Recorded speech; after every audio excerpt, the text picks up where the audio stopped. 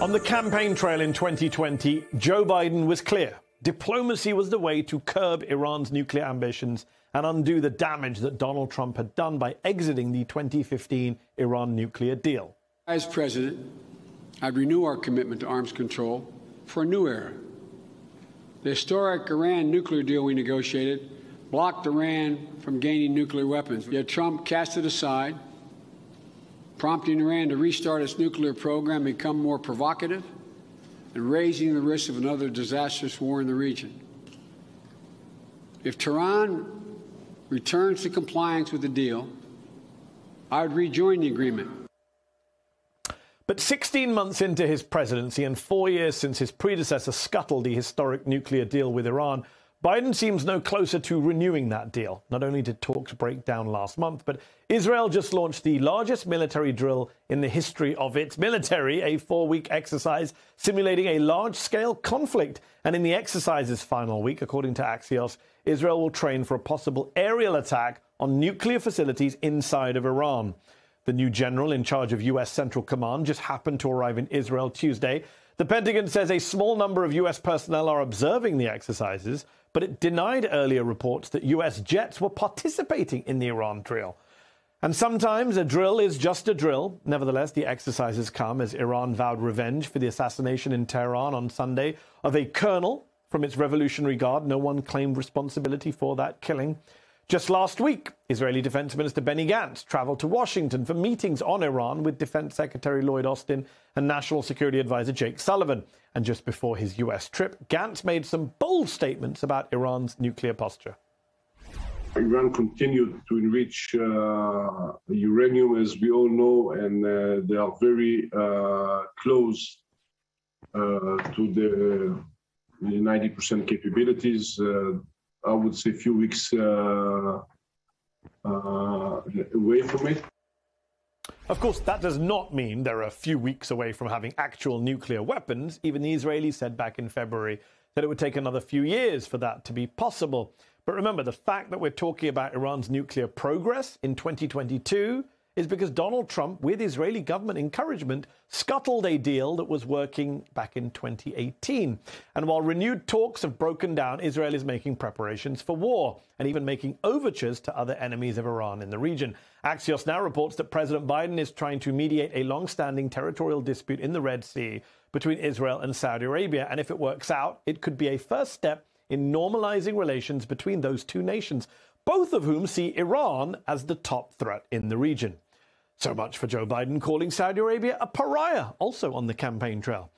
Could this all be part of a US diplomatic strategy to further isolate Iran in the region and thereby convince them to return to the negotiating table? Or could it be a prelude to an escalation that leads to a new war in the Middle East?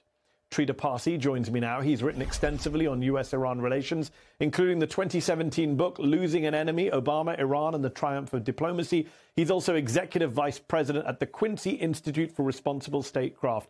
Uh, thank you for coming back on the show. Trita, on Sunday, a senior colonel in Iran's Revolutionary Guard Corps was killed by gunmen outside his home. His burial was held uh, Tuesday in Tehran. Israel has not taken responsibility. They never openly do. In the past, US officials have kind of suggested that Israel has been behind a campaign of assassinations of Iranian nuclear scientists. What do you make of what just happened? And is this the beginning of an escalation that leads to war? Well, it certainly seems to be an escalation. Now, you're quite correct. The Israelis have not taken credit for this, although in the Israeli press they do talk about it as if it is a step that Israel took.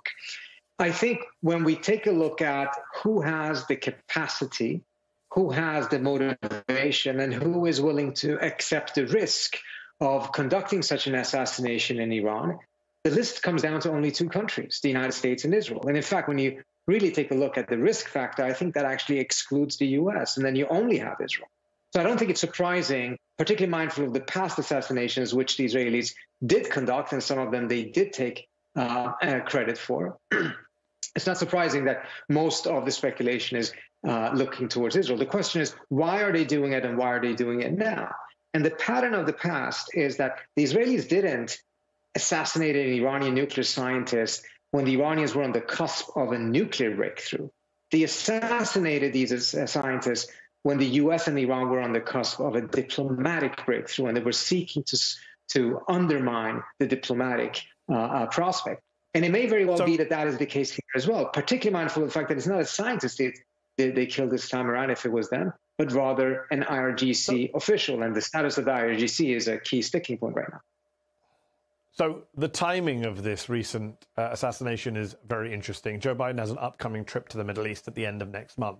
And according to multiple sources who spoke to CNN, it may include a stop in Saudi Arabia to meet with the Crown Prince. I know you're plugged into a lot of folks in the Biden administration, especially those working on trying to restore or renegotiate an Iran deal. What is their calculation with this Middle East visit? Is it to isolate Iran further in order to secure a better deal? Or is it just the US moving on from that deal and doubling down on its alliances with Saudi Arabia and Israel?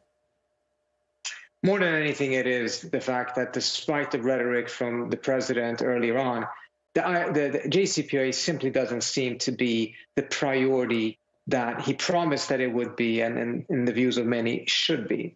I think what you're seeing happening in the region is that the Trump, uh, the Biden administration seems tempted to see if they can outdo Trump when it comes to the Abraham Accord and expand on that. And and the real prize is would be to get the Saudis to uh, normalize with Israel. The cost of that, of course, is the normalization of Saudi Arabia itself and its uh, leader, MBS, which thus far Biden has refused to meet with.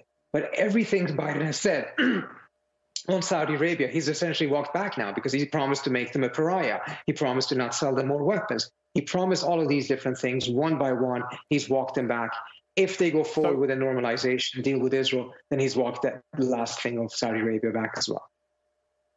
Trita, a deal was supposed to have happened by now. A lot of people thought it would have happened by now. We always hear there's a, if there's a will, there's a way. Does Joe Biden just lack the political will? Do Democrats lack the will? You have people like it's easy to talk about anti-Iran, right-wing Republican hardliners, but you also have people like Senator Bob Menendez, uh, the hawkish chair of the Senate Foreign Relations Committee, who's no fan of the Iran nuclear deal. What is blocking the Democrats from doing this now, especially ahead of midterms where they're likely to lose control of Congress? I think it comes down to two issues. First of all, uh, a significant mistake that was committed by the Biden administration early on they could have, at most, just simply walked back into the deal through an executive order, or at a minimum, if they were going to pursue a diplomatic strategy, would have truly pursued a diplomatic strategy with positive measures and uh, an effort to actually improve the atmosphere. They didn't do any of that. Instead, they talked about a longer and stronger deal. And as a result, 14, 18 months later, now we're still in a negotiation that so far has been inconclusive. The other mistake is, frankly, that you're quite right. The political will is not there. It's not that they don't want the deal. It's just that they don't want it bad enough, so they're willing to pay the political price in Washington because of all of these lawmakers that are opposed to the deal on the Republican side or lawmakers on the uh, Democratic side that are taking the side of the Israeli prime minister or the previous Israeli prime minister on this issue. Uh, they just don't want to deal with that mess, essentially. And as so, a result, here, here's where we are. But the question that comes, though, is this. The Biden administration has been right in pointing out that this is Trump's fault and that Trump's maximum pressure strategy was a massive failure. But a year and a half into his administration, Biden is essentially continuing that strategy. For how long can he continue Trump's and failed maximum pressure strategy without being responsible for its continued failure? So on that, we're out of time. One last quick question.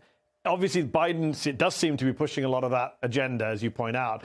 But you have EU leaders who never wanted to end the deal. Even they have criticized Iran for continuing to expand its enriched uranium stockpile in breach of the original deal. They've called it provocative. Iran hasn't denied it's doing it. They're not budging on their own terms when it comes to all sanctions must be lifted before they play ball. Uh, the Iranians are also playing hardball. Oh, certainly, without a doubt. But what you have right now is a situation, though, that the Iranians were actually still in the deal. They still are in the deal. Uh, and they stayed in the deal for full three years, waiting for Biden to come in. The expectation was that Biden would come in and would just walk back into the deal and everything would be fine. Instead, Biden chose this extensive negotiation process, and that has created massive bad blood on both sides. And, and on top of that, we now have a different president in Iran that is taking a much, much yes. tougher position.